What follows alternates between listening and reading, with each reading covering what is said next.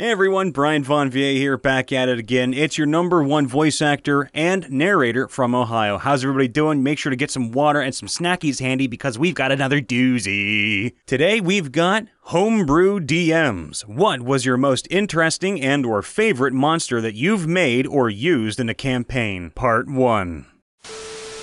It required a lot of behind the scenes rolls, but there was a dungeon I ran in a superhero 5th edition homebrew where the final enemy had the ability to generate horrifying illusions throughout the entire dungeon that were capable of hurting you via psychic hoodoo i.e., it burns you, you have real burns on your body. I collected the players' whiz saves in secret and rolled them every time they entered a room. Sometimes everyone saw the monsters and fought hard, other times the room was totally safe but the best was when only one or two players saw it. One time, they just thought they couldn't see the monster, and the one player took a ton of damage trying to mark it with paint so the other's attacks wouldn't miss. He missed with the paint, and an obvious giveaway failed. This kept happening until they reached the end and killed the supervillain and the spoopy fog vanished, and they found notes on studying the psychic hoodoo. They seemed to dig it.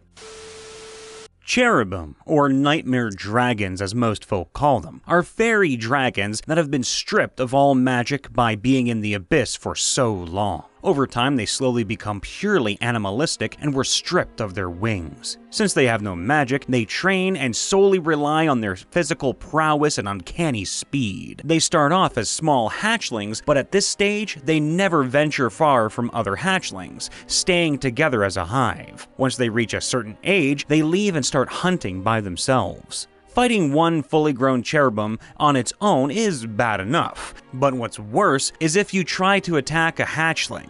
It will send out a distress call that will cause other hatchlings to help it. This results in a literal sea of collective cherubim hatchlings, which will leave no trace of even the most powerful of adventurers. And if you want worse, try a hive mind. These are female cherubim that watch over the hatchlings using a psychic link. If the hive mind senses that any nearby hatchlings are in danger, they will join the fray and coordinate the hatchlings into an even more giant and deadlier storm of hatchlings. I'm talking tornado like. The Blood Moon King the final form of one of my big bad evil guys who was already a powerful homebrew of mine that combined elements of a werewolf and hellhound. They attained it after completing a ritual using a special gem, permanently turning them into a more viscous threat. The actual ritual was intended to render him immortal and invulnerable. Luckily, the team were able to interrupt the ritual before it was completed, so he has not become completely immortal yet. Unfortunately, even with the ritual only halfway done, he still reaps some of the benefits. Having access to powerful melee attacks augmented by necrotic energy, a vampire-like bite that can drain health, a minor healing factor, and a powerful breath weapon called the Hell Flare that deals a combination of necrotic and fire damage. But his most terrifying aspect is his sheer defensive capability. He either resists or is flat immune to every damage type in the game, with two exceptions dealing normal damage. Now the team has to find a way to shut down that ungodly defense before they fight him again a paper slash book dragon known as the Guardian of the Library of the List City of Ankir. It was a construct dragon that would assemble itself from the books and papers in the library when someone without permission entered it. It had a paper breath weapon that did slashing damage and would steal knowledge, proficiencies, language, spells, etc. on a failed wisdom save. You could regain the knowledge or get new knowledge from its body once slain, as it would stay dead until the next dawn, at which he would reform. But how does the dragon actually deal with late fees? That's what I want to know the Wyvern. My players started to steamroll through all my monsters and seemed to get a bit bored. Before this, a player killed nine bugbears on the first turn. How? So I had them come across some people that were kicked out of the capital due to the someone being able to control dragon-like creatures invasion. When they attempted to talk to the people, they noticed a wyvern. They didn't think it would be a problem, so they started shooting off some weak cantrips at it. Then it swooped down and stung the wizard, knocking him out out, and then grabbed the ranger. The warlock got a couple of shots at the wyvern before it flew up and dropped the ranger. Luckily, he survived and was woken up by the warlock. After some time, they killed it, but barely survived. It got them straight as they knew they were going against dragons, so the wyvern scared them into taking it more seriously. Until they steamrolled a gold dragon by chucking it in a ravine that led to hell. After that, I loved the wyvern and I really want to use it again.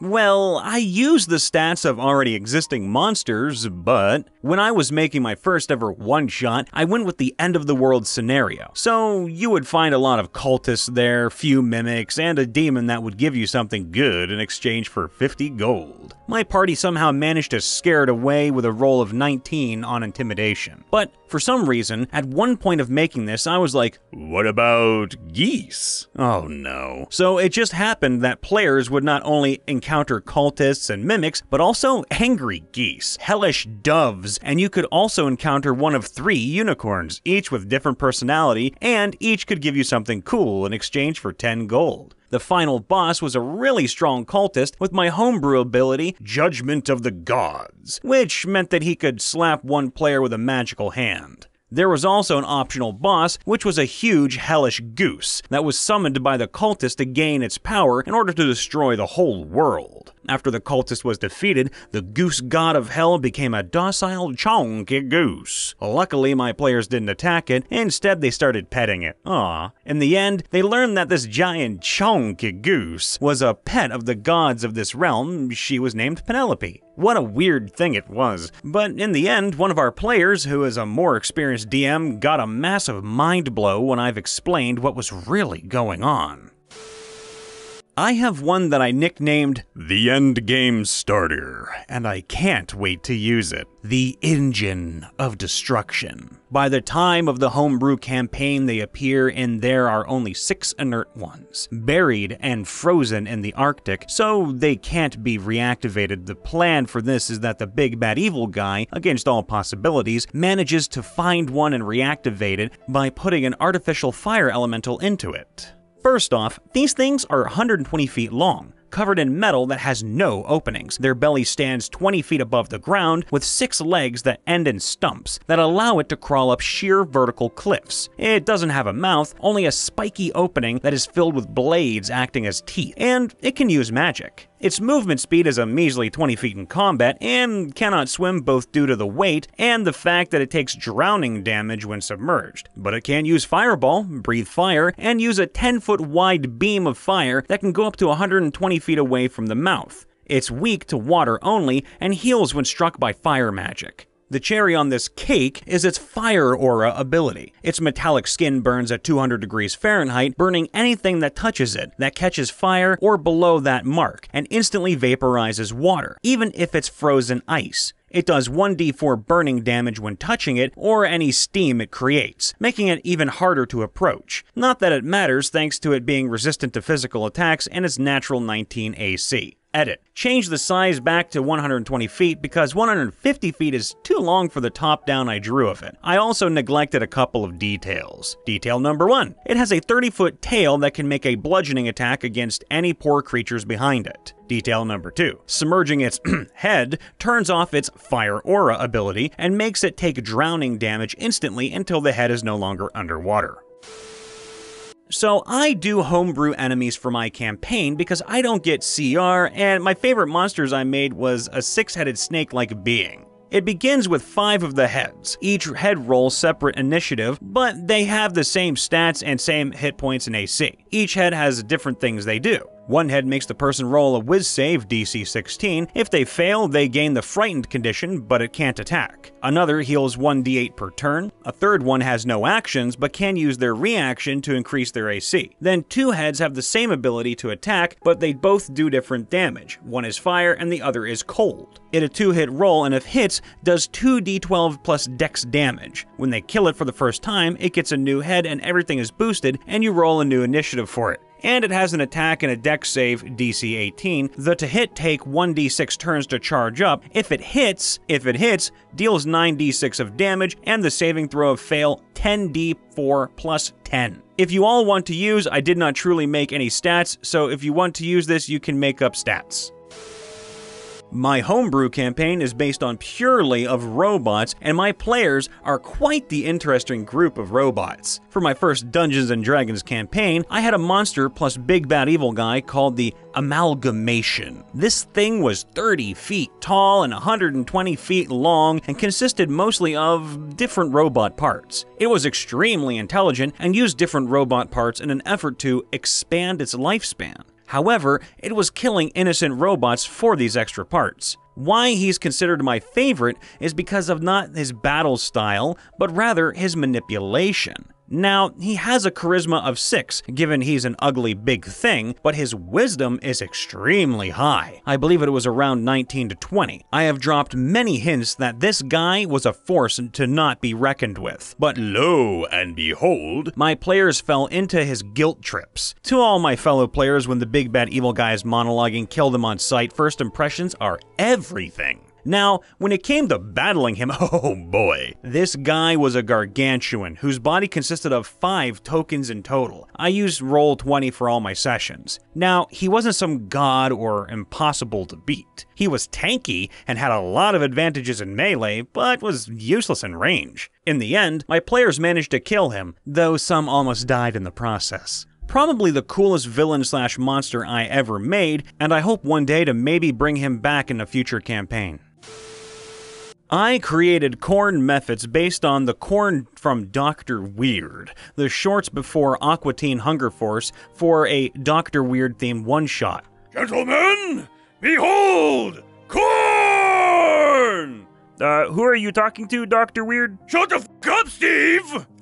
anyway, key features include exploding into popcorn and the ability to group up and carry away targets. Edit stat block, and additional info and context below. If this makes it into a video, don't feel obliged to read the whole thing. You test me, sir. Or ma'am. Corn mephits. Corn mephits are my own version of the many elemental based mephits. However, unlike other mephits, corn mephits look like ordinary corn when stationary. If your players ever go near a farm, have a handful of corn mephits pop up. They will never treat corn the same way ever again any ear of corn at any time can turn on you, and the reason you shouldn't tell secrets is because the corn has ears. And Mephits. These would make a fun help a farmer kind of quest, but because of how widely traded crops like corn would, they can show up anywhere, anytime, even while in town. At level 2, I wouldn't put more than 3 against the party at once. Corn Mephit. Small Elemental, Chaotic Evil, Stats, AC 11, HP 21, 6d6, Speed 30, Fly 30, Strength 13, Dexterity 7, Con 10, Int 12, Wiz 9, and Charisma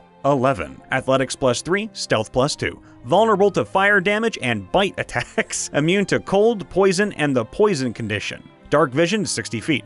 Languages Cornin. Combat rating half, 100 experience. Abilities Death Burst. When a corn mephit dies, it explodes in a burst of piping hot popcorn. Each creature within 5 feet of it must make a DC 10 dex save, taking 1d fire damage on a failed save and half as much on a success. This explosion leaves behind one day's worth rations of popcorn if collected. False appearance. While a corn mephit remains motionless, it's indistinguishable from an ordinary ear of corn. Pack tactics. You have advantage on attack rolls against a creature if at least one of your allies is within 5 feet of the creature and the ally isn't incapacitated. Actions Claws, melee weapon attack, plus 3 to hit, reach 5 feet, deals 1d4 plus 1 slashing damage, plus 1d4 fire damage. Carry away. The Corn Mephit makes a grapple check against a target. It has advantage on this check if it's under the effects of pack tactics. On a success, the target is grappled. Take 1d4 fire damage. Until the grapple ends, the Corn Mephit can repeat this damage as a bonus action each turn the grapple continues. A Mephit can carry up to 75 pounds, with multiple Corn Mephits able to pool their carry power and use their reactions to move when one Corn Mephit also grabbing the same target moves to move as a group. I really like this monster. Hey everyone, Brian here checking in after the vid. Make sure to leave a like, subscribe, and to ring that bell so you can get notifications on any time we upload or go live. Do you want to submit a story for us to read here on a stream? Make sure to check us out on our subreddit r slash Mr. Ripper and toss one in there. Be sure to also follow us on Twitter and Twitch. Links are in the description below. Using a help action, come say hi to me, Brian Von VA, over on YouTube as well, where I voice your D&D characters, make memes, and stream games. I get a lot of messages on Twitter with people saying how much they like my voice and how much my ending messages mean to so many of you. And I want to say thank you for all the love that y'all give me, and I truly hope from the bottom of my heart that you're all doing okay. I want each of you to have friends, to know you're loved and worth the life you live. Things can be hard, yeah, but hey, at the end of the day, we're all in this together, and don't you ever forget that. All the love, everybody. Be safe out there, and I will see you next time. Bye for now.